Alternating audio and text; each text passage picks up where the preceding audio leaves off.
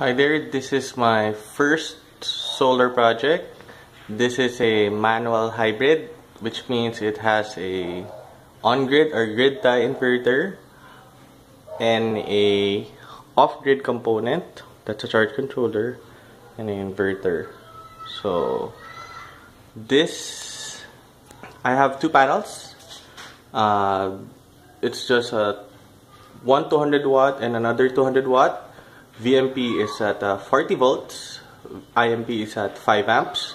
So I've connected it, connected it this way so I could separate it to each component if I want to. But I could also run it at the same time since this is in parallel. I could run it I could choose to run purely on off-grid or I can choose to run purely on on-grid this is a special grid tie inverter. It's a GTIL. So it's produced by Mass Power. It's a Sun-100G model. Its output is about 220 to 240 volts at 60 hertz. So what's special about this grid tie inverter is it has a limiter. This limiter, so I modified the panel board of the house such that the main distribution utility, which in this case is Meralco, goes into this grid tie limiter, which is actually a load monitor, and then it goes out again, and I have it for 2 MTS because I I separated the outlets and the lights of the house so I could power it separately. So it goes inside the house after this MTS and then on this part is the solar charge controller. It's a Epsolar Tracer 4215BN and what I'm using as a pure sine wave inverter care of uh, brightpower.ph so it's just a 1000 watts pure sine wave inverter.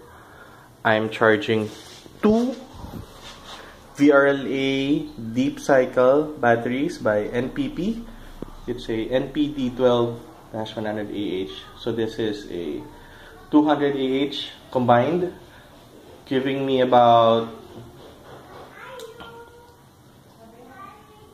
1200 watt hour at 50% depth of discharge. Alright.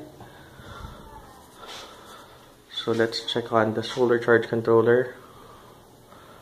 So since this is an MPPT, as you can see, the panels is actually rated at about 40 volts, but it's converting that volts into amperes, so it could still charge the batteries.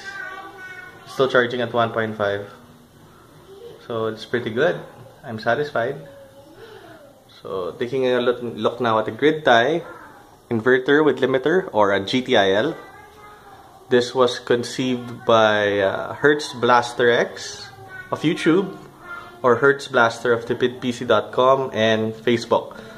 Uh, you could also find him at facebook.com slash solarpowerphilippines. So this one, utility power means this is what the house is currently consuming, 230 watts. The inverter is only producing 44.7 watts. Let's check on that. Right, 44.7.